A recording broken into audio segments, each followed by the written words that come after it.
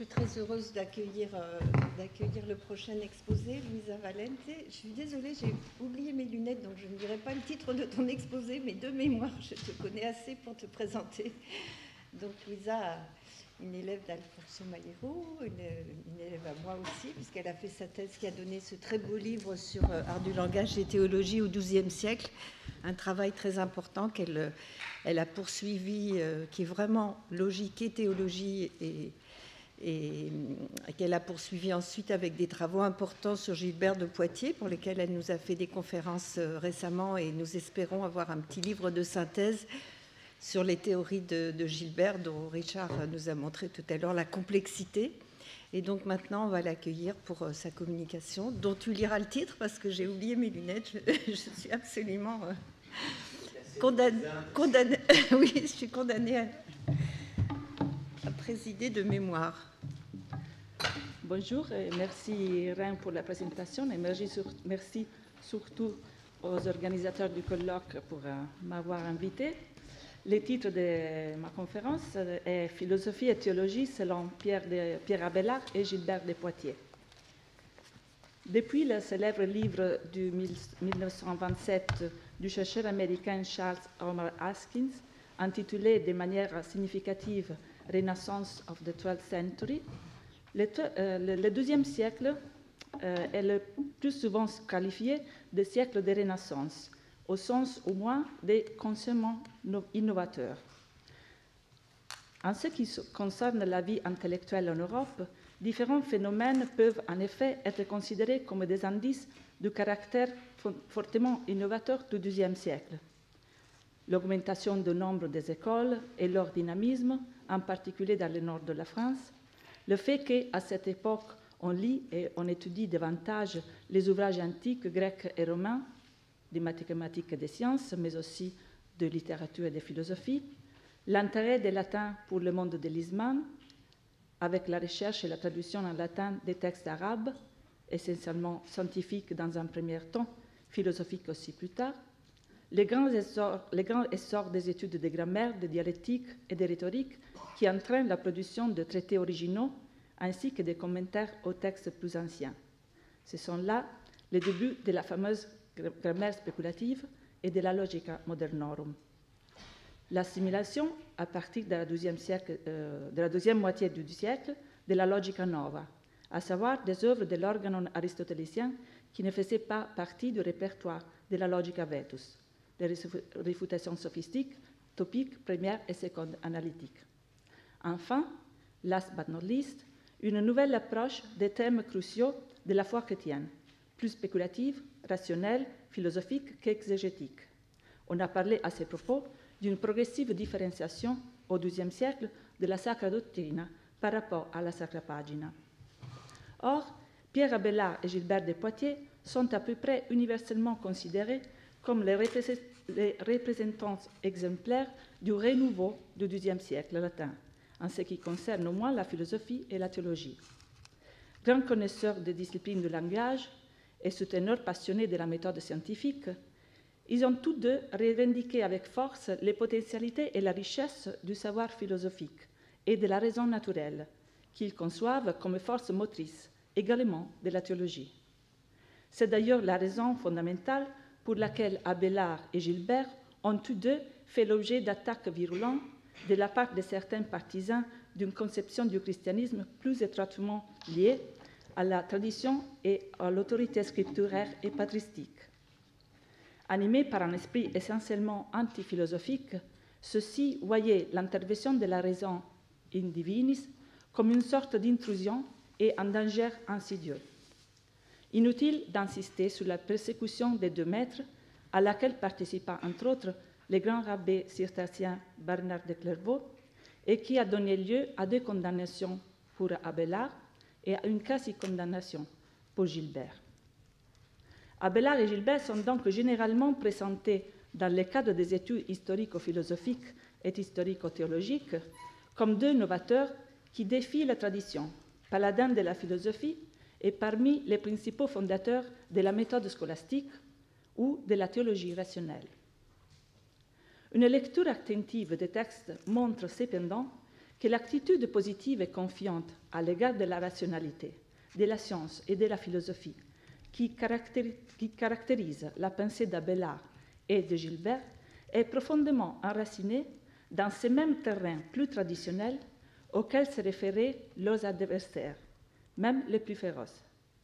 Cela a été mis en évidence depuis longtemps déjà pour Abélard dans des recherches sur les liens de sa pensée avec l'idéal monastique et avec la pensée d'Augustin.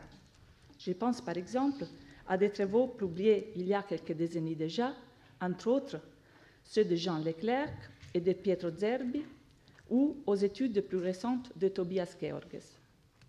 Un examen plus attentif montre en effet qu'Abelard et Gilbert adhèrent pleinement à la conception du système de savoir hérité des, des pères et du Haut Moyen Âge qui voit la théologie comme l'aboutissement et le perfectionnement de la philosophie, et les savoirs auxquels les autres disciplines doivent être soumises, telles des servantes.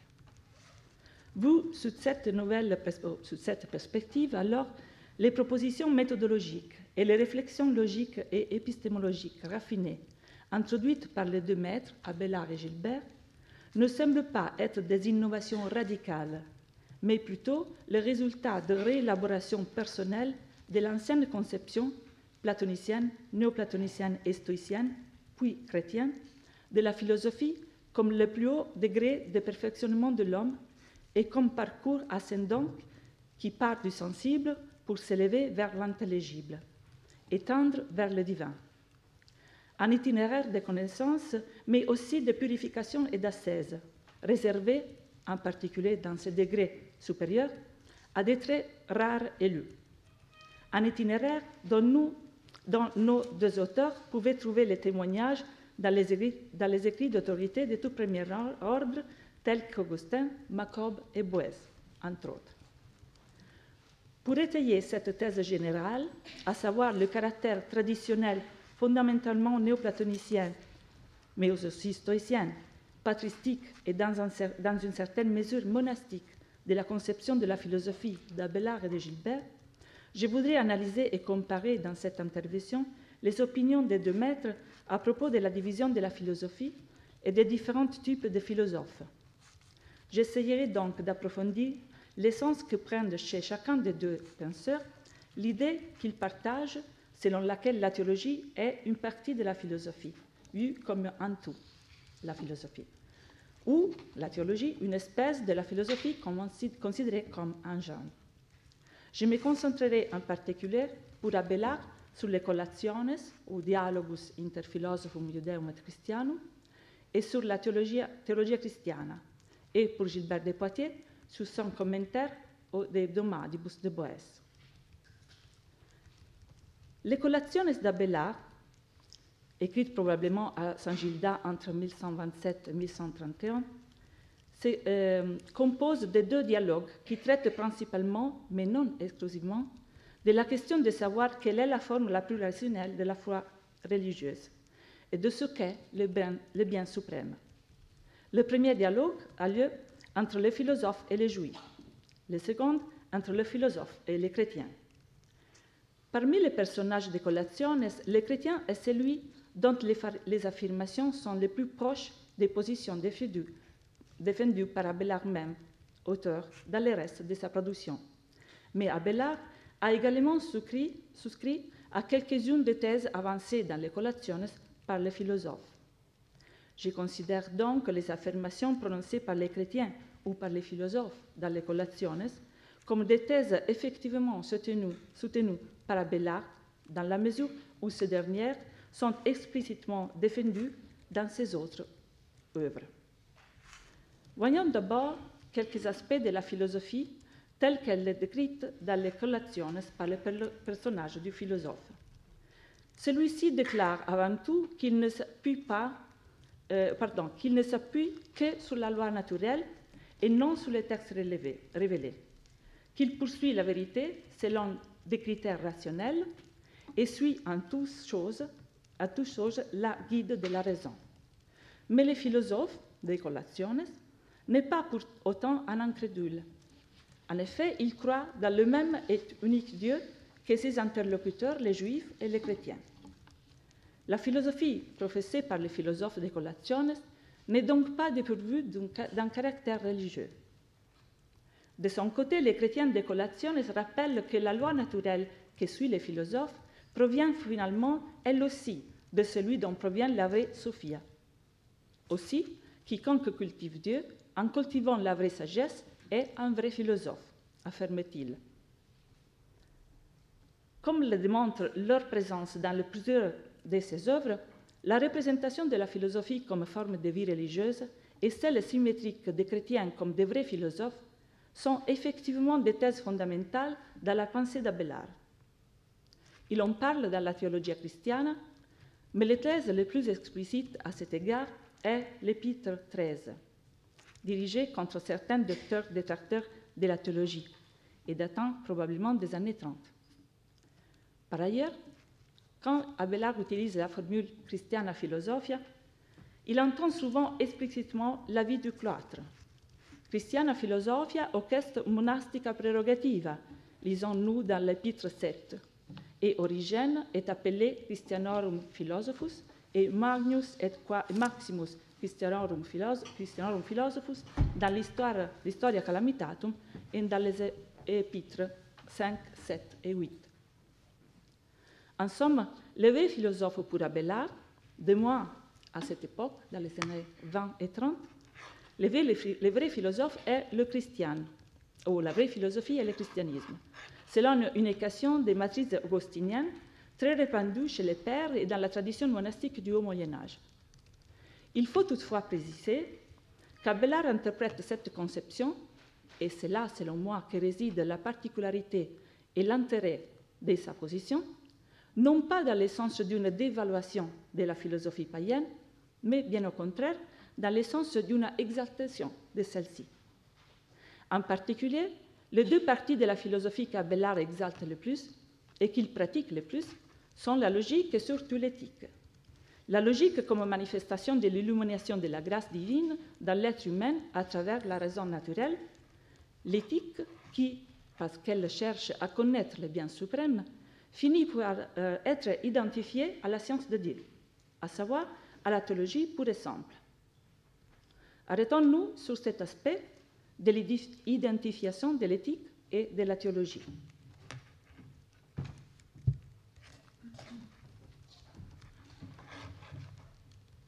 Dès le début des Colationes, la philosophie pratiquée par les philosophes se caractérise comme une éthique. Dans les premières répliques, euh, il y a un handout, euh, c'est le texte 1 dans votre handout. Dans les premières euh, répliques des Colationes, les philosophes se posent en effet un expert de la philosophie morale, bout de toutes les autres disciplines qui recherchent le bien suprême, le mal suprême et comment parvenir au vrai bonheur. Je lis seulement le, le, les propositions en grave du texte, en traduction, je me suis rapproché, c'est les philosophes qui parlent, je me suis rapproché de la philosophie morale, qui est la perfection de toute discipline et celle pour laquelle toute autre étude doit être goûtée. Prélibanda. Le passage qui marque un tournant dans les dialogues est celui où les chrétiens acceptent la thèse du philosophe, selon laquelle l'éthique est la forme la plus élevée du savoir. En effet, les chrétiens convainquent alors les philosophes, le texte numéro 2, les chrétiens convainquent les philosophes de reconnaître l'identité de l'éthique des philosophes et de la divinitas, à savoir la science de Dieu, des chrétiens. Elles, les deux, éthique et euh, divinitas, elles auraient tous deux le même objet, Dieu, envisagé selon des points de vue différents. Les chrétiens appelleraient cette science divinitas parce que Dieu est ce vers quoi on tend en elle à travers la compréhension. Les philosophes l'appelleraient au contraire éthica, dans la mesure où elle indique les la divinité indique les comportements à travers lesquels on attend Dieu, à savoir les vertus. Les philosophes déclarent alors formellement d'accepter et d'approuver pleinement l'identité de Ethica et Divinitas. Il dit Assentio quod clarum est. Je suis d'accord, la chose est évidente. Les chrétiens et les philosophes, texte 3, sont également d'accord sur le but de l'éthique ou divinitas, à savoir révéler, apérire, quel est le bien suprême et à travers quel parcours les hommes peuvent l'atteindre. Là encore, le philosophe est d'accord. C'est le chrétien qui parle. L'essence ultime de cette discipline est, je pense, celui-ci, qu'elle nous permette de connaître ce qu'est le bien suprême et par quelle voie nous pouvons y arriver. Et le philosophe répond Placet utiqui vehementer. Le philosophe semble même aller plus loin que les chrétiens en faisant de la théologie, la divinitas, la partie la plus élevée de la philosophie. Test 4. De même que les biens suprêmes dans la jouissance duquel consiste le vrai bonheur, dit-il, les philosophes, de même que les biens suprêmes, de même que les biens suprêmes dans la jouissance duquel consiste le vrai bonheur est supérieur à toutes les autres choses, de même la discipline qui s'en occupe est supérieure à toutes les autres disciplines. Le système du savoir est donc présenté par les philosophes comme une échelle ascendante dont, dont les marches tendent tout vers la plus haute et la servent. Ce n'est que dans l'éthique théologie que se trouve le bout et la tranquillité au terme du parcours. Les autres disciplines ne sont que des moyens il faut le traverser, mais le laisser derrière soi pour passer outre.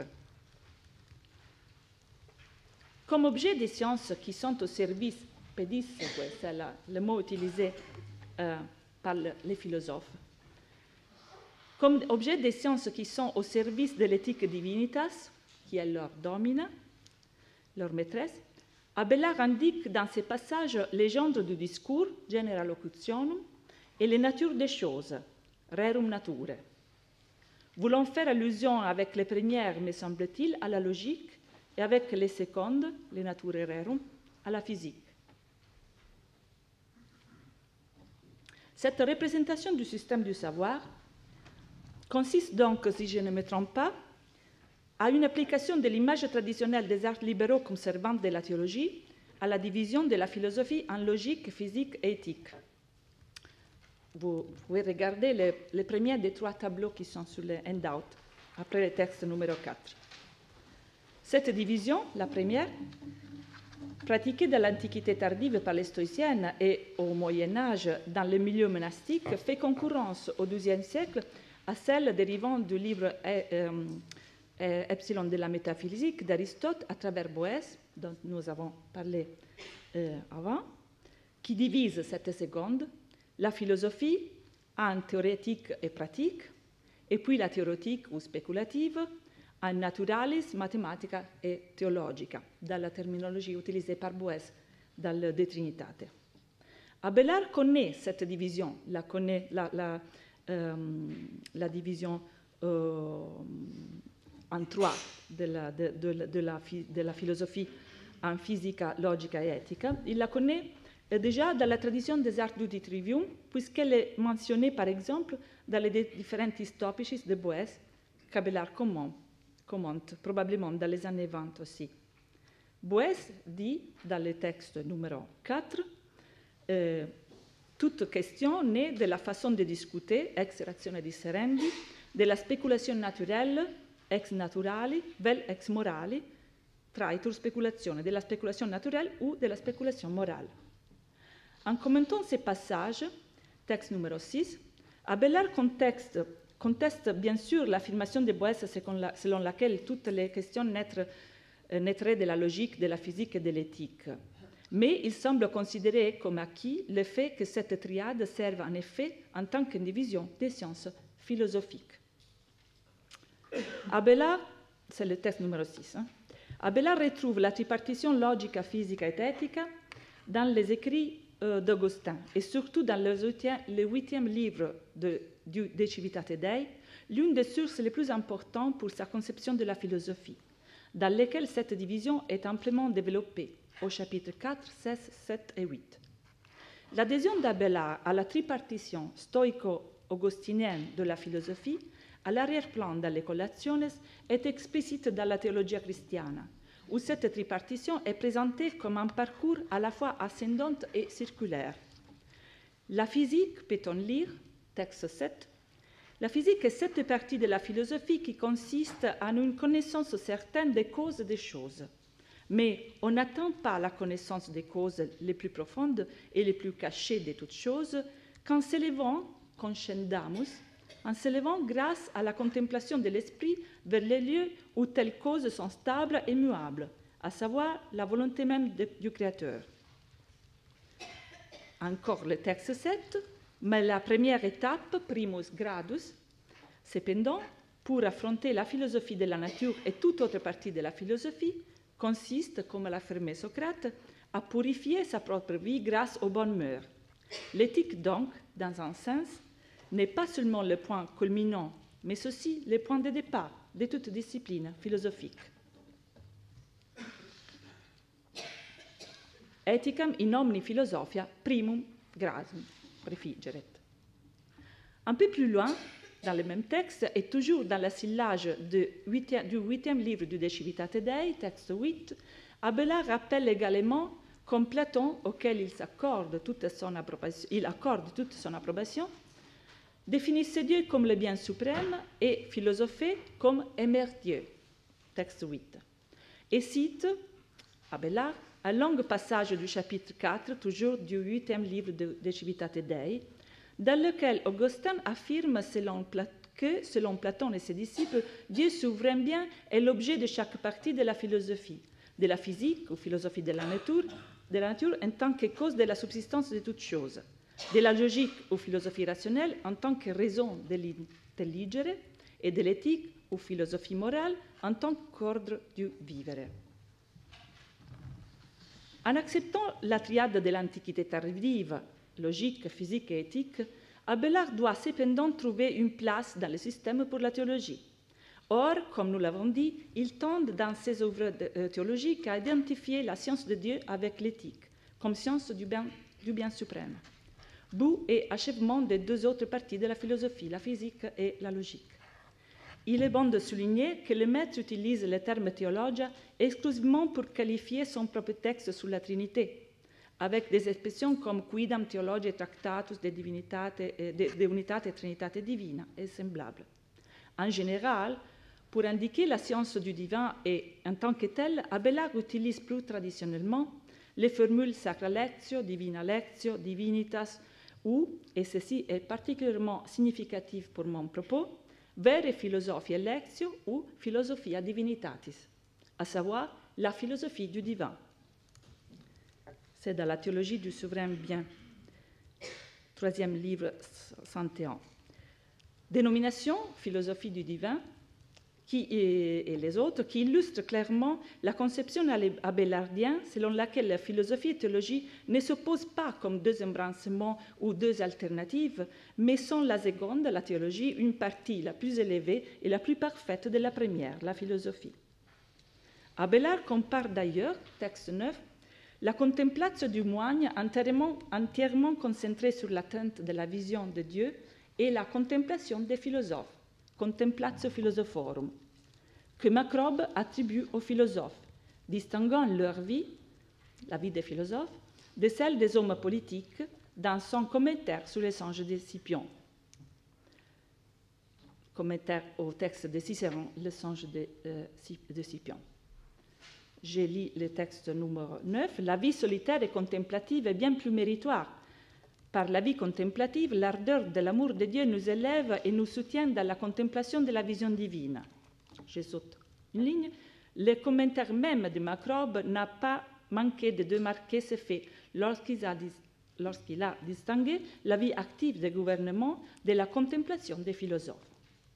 En effet, les, euh, commentaires macrobiens au songe des Scipion sont un autre euh, texte fondamental à côté du livre 8 euh, du De Dei d'Augustin pour la constitution de la conception abélardienne de la philosophie.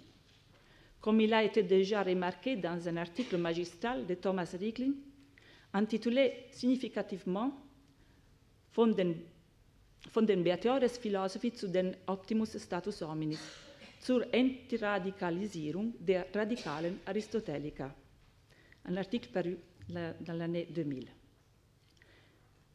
Reprendant entre autres la subdivision macrobienne entre les philosophes en voie de purification et ceux dont l'âme est déjà purifiée, Abélard utilise, les textes disent, dans les textes disent, le terme philosophantes pour désigner les philosophes en voie de purification et le terme divini pour indiquer les plus parfaits parmi les philosophes, les plus purs.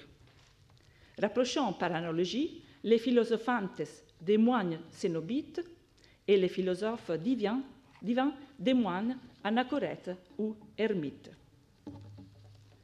Le caractère à la fois ancien, religieux et monastique de la conception abélardienne de la philosophie apparaît également dans la description qu'il donne des villes des philosophes anciens dans le deuxième livre de la théologie chrétienne, chapitre 45.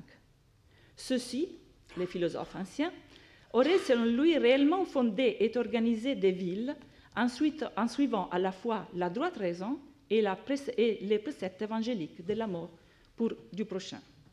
Dans la description des villes des philosophes, texte 12, qui fait clairement écho à la République de Platon, connue par Abélard à travers les Timées, Abélard remplace les trois classes du texte platonicien, travailleurs, guerriers et gouvernants philosophes, par la triade coniugati rectores continentes, les gens mariés, les gouverneurs, gouvernantes et les moines ou les, continents, les abstinents.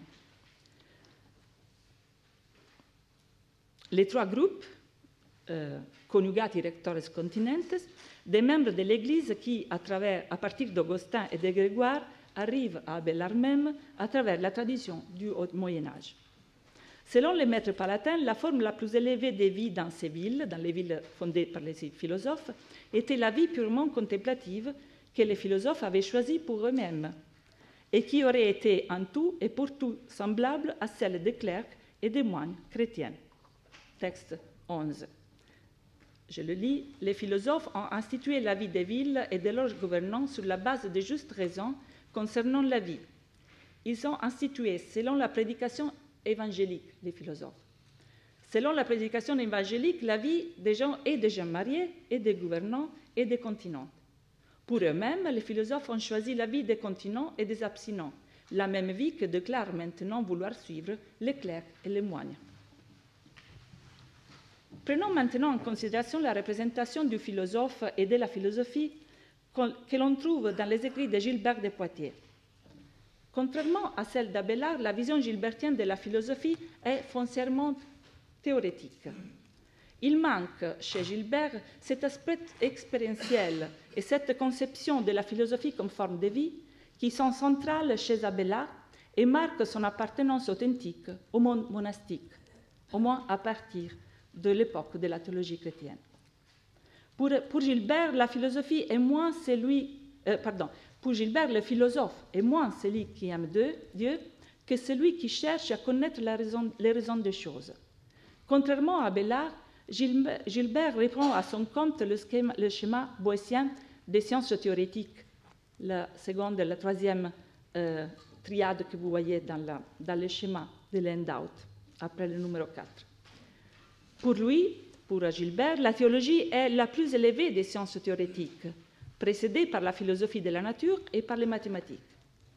À ces propos, on retiendra en particulier la distinction que fait Abélard entre natura, le naturalis philosophus et le philosophus theologicus. Une distinction qui, face à l'identification abélardienne entre philosophie morale et divinitas, semble en revanche annoncer la séparation entre philosophie naturelle et théologie à laquelle on assistera, même du point de vue institutionnel, au siècle suivant. Gilbert utilise la distinction entre philosophe naturel et philosophe théologique, en particulier dans les commentaires au De de Boès, dans le cadre de l'exposition du second axiome du texte boétien, euh, c'est le passage euh, 13. Cet axiome fondamental dont on a déjà parlé euh, tout à l'heure, cet axiome fondamental affirme que l'être est différent de ce qui est. Diversum est esse et id quod est. Il y a, selon Gilbert, deux façons, toutes deux valables, d'interpréter cet axiome. L'une qui révèle, relève de la facultas philosophica, l'autre qui relève della eh, facoltà, eh, pardon, l'une qui relève della facultas théologica, l'autre de la facultas naturalis. Selon la faculté théologique, on entend S comme l'essence divine en tant que principe de toute chose.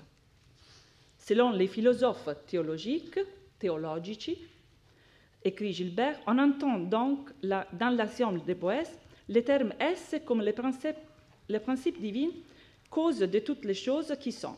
En revanche, dans le langage des autres philosophes, ceux qui s'occupent des choses principiées, que ex principio sunt, le terme S désigne les formes substantielles, grâce auxquelles les choses qui sont, sont et sont ce qu'elles sont.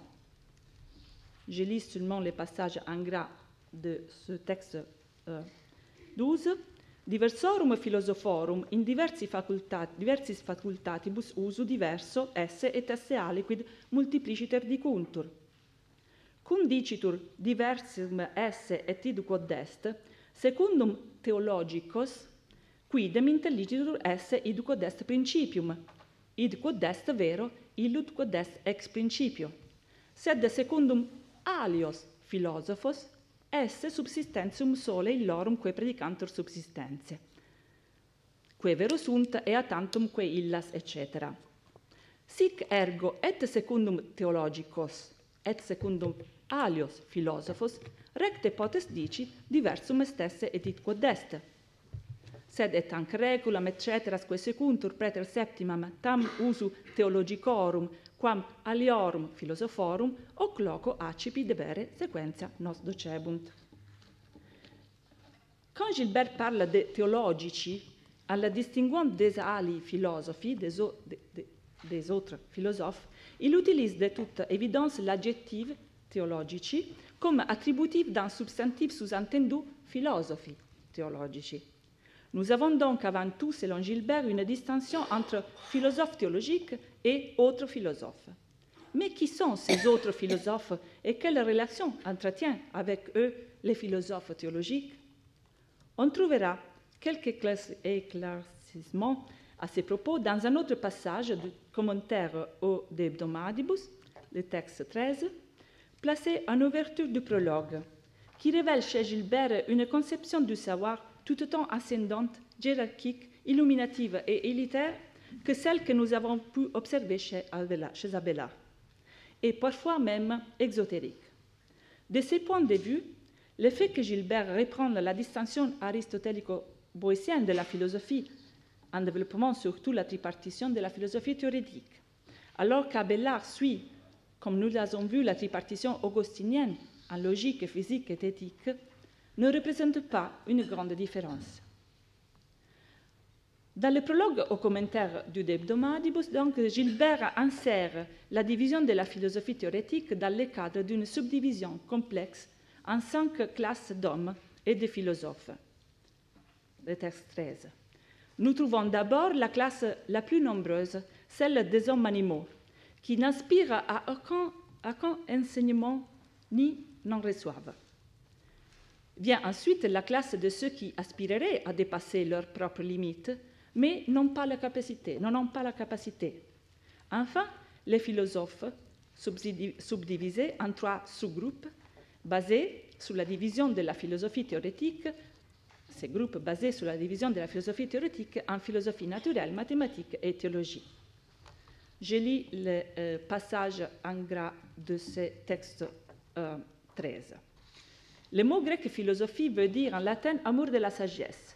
Bien que les philosophes, c'est-à-dire ceux qui aiment la sagesse, se délectent de son apparence tout entière, ils ne la montrent pas entière à n'importe qui.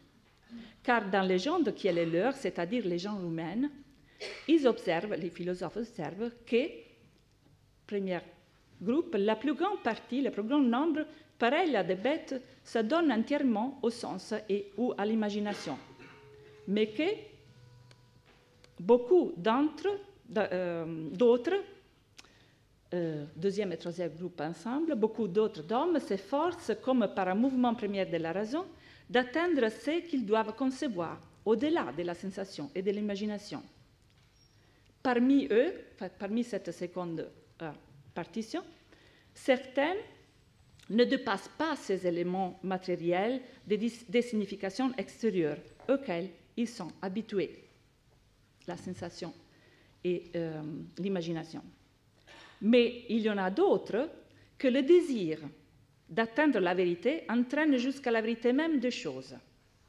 Ceci également, les philosophes les destinent à des fonctions propres et qui leur convient. La plupart, ce troisième groupe est divisé à, son tour en trois parties. La plupart des gens qui sont éduqués par les philosophes, la plupart ceux qui courent, pour ainsi dire, sur la grande route par les raisons communes et connues de tous, ils, les philosophes, les conduisent vers une image de la sagesse qui est comme équissée dans les concrétions des choses naturelles. D'autres, en grand nombre, habitués à ces miroirs des choses naturelles, ils les appellent à rejoindre ce qu'une discipline plus haute, appelée en grec mathésis, sépare par abstraction de ces concrétions. Et enfin, ils, les philosophes, voient que d'autres, en petits membres, euh, sont tendus d'une ardeur plus intense. Ils les conduisent à une sorte d'hôtellerie, pour ainsi dire, éloignée de la grande route des choses rationnelles. Et là, comme sous le voile, le voile du secret, ils leur montrent de la sagesse elle-même quelque chose qui dépasse tout le reste de la dignité. Je dois la traduction à euh, M. Dominique Poirel. Cette division terminer la, lecture du texte de Gilbert, cette division en cinq niveaux, nous pouvons en réalité la réamener à une division en trois types d'hommes qui, si l'on considère les trois derniers niveaux, 3.1, 3.2 et 3.3, comme des articulations internes d'une même typologie d'hommes, celle des philosophes. Cette division peut donc être comparée aux nombreuses triades de genres d'hommes euh, des types d'hommes que l'on trouve dans les ouvrages théologiques du IIe siècle et qui ont un système hiérarchique semblable, avec les coniugati ou travailleurs ou hommes politiques, euh, laïcs, hommes bêtes, situés sur l'échelon les, les plus bas. Les philosophes, ou dans le sens des philosophantes, sur l'échelon intermédiaire, et les sages, sapientes, ou divini, ou moines, ou ermites, sur les échelons les plus élevés. Nous trouvons des schémas de ce type chez Guillaume de Conches, Abelard, euh, Bernard de Chartres, dans les Florilegium Morale Oxonienses ou encore chez Jean de Salisbury. La particularité des schémas d'Abelard et de Gilbert consiste, selon moi, à poser, et jusqu'à présent je n'ai trouvé euh, d'autres qui le fassent, à poser le dernier échelon le plus élevé sous l'égide des philosophes. Comme on le voit, la, physique, les mathématiques et la théologie sont placées par Gilbert dans un ordre hiérarchique ascendant de plus en plus exclusif, manifestant une conception du savoir encore plus élitaire et hiérarchique de celle élaborée par Abelard avec sa triade physique, logique et éthique. Selon Gilbert, cet ordre est également en rapport avec la proximité de plus en plus grande du centre de, la diffusion, de l'intelligence, l'aces mentis, il montre en cela, en utilisant une terminologie d'ascendante probablement augustinienne et très répandue à l'époque dans les milieux victorins, que de toutes les disciplines philosophiques, la physique est la plus externe, extérieure, les mathématiques sont internes, intérieures, mais seule la théologie est assez intime, sino secreti sapienze, assez intime pour pouvoir s'approcher du sens secret de la sagesse. C'est pourquoi, parmi toutes les espèces de philosophie, la théologie est pour Gilbert celle qu'il faut garder cachée aux yeux du plus, grand nombre de gens. J'arrive à mes conclusions. Sans rien ôter à la portée retentissante de l'intelligence philosophique d'Abelard et de Gilbert, nous pouvons achever notre examen des points peut-être les plus traditionnels de leur pensée avec une observation sur le rapport entre ces positions et le reste de la spéculation des deux auteurs. Je crois que même une connaissance non approfondie de la pensée d'Abelard et de Gilbert permet de montrer que leurs représentations des classifications de la philosophie et des philosophes en sont des points clés et des pierres angulaires, et non un simple ornement ou la simple répétition de lieux communs. Dans leurs deux interprétations similaires mais différentes de la philosophie comme parcours ascendant culminante dans la théologie comme son plus haut degré, se reflètent leurs différentes trajectoires euh, personnelles et intellectuelles. La prédilection d'Abelard pour la division de la philosophie en logique, physique et éthique, et son identification d'éthique et de divinitas, tout comme du philosophe et du vrai logicien, vrai éthicien, vrai chrétien et vrai moine, reflète son parcours, le parcours d'Abelard, son parcours personnel du euh, rapprochement de la logique qui ne sera jamais complètement abandonnée, d'une éthique, d'une théologie et d'une métaphysique, qui tourne tout autour du concept du bien suprême. Un parcours réalisé en adhérant pleinement à l'idéal monastique, aussi tourmenté puisse avoir été dans la vie réelle la relation d'Abelard avec ses confrères. De façon analogue, mais différemment, la prédilection de Gilbert pour la division poétienne de la philosophie spéculative en philosophie naturelle, mathématiques et théologie, la distinction nette qu'il établit entre philosophe naturel et, philosophe théologique, et son élitisme philosophique marqué, reflètent tout aussi clairement une conception théorique plus qu'existentielle de la philosophie, plus en accord avec le monde des écoles citadines dans lesquelles la pensée de Gilbert ne prospérait pas par hasard. Il est possible, mais il faudrait, pour le démontrer, une recherche différente de celle-ci, qu'Abelard et Gilbert aient représenté avec leurs deux conceptions, éthique et théorétique, de la théologie, deux extrêmes opposés et que les théologiens de la seconde moitié du XIIe siècle se soient situés dans de diverses positions intermédiaires entre l'une et l'autre. Un indice de ces, euh, en ce sens pourrait être le fait qu'un maître du calibre de Landelil a, dans au moins de, de ces nombreuses classifications du savoir, de toute évidence cherché à englober dans un même schéma articulé les deux visions, distinguant une, euh, distinguant et une théologia moralis. Quoi qu'il en soit, et pour terminer, Abelard et Gilbert empruntent tous deux à la tradition une conception de la philosophie comme élévation de l'esprit, qui, à travers l'esprit de la raison, se libère de tout lien matériel pour chercher sa perfection dans le rapprochement du principe de, toutes les choses. Abelard et Gilbert transmettent ainsi à leurs lecteurs un idéal philosophique à la fois antique et potentiellement porteur de développements éclatants. Et cet idéal ne me semble pas complètement différent de celui que soutiendront avec vigueur les maîtres de la faculté des arts de l'Université de Paris environ 150 ans plus tard. Bien qu'Abelard et Gilbert soutiennent l'inclusion de la théologie dans la philosophie et non la distinction des domaines comme les maîtres des arts, et bien qu'Abelard et Gilbert ne puissent pas encore, pour exalter la philosophie, se référer à l'éthique anicomaque d'Aristote et aux commentateurs arabes, comme le feront bientôt les maîtres universitaires, la contemplatio philosophorum et l'altior intelligentsia dont ils parlent ne sont probablement pas très loin de la delectatio intellectualis de Boès de Dacier. Merci pour votre attention.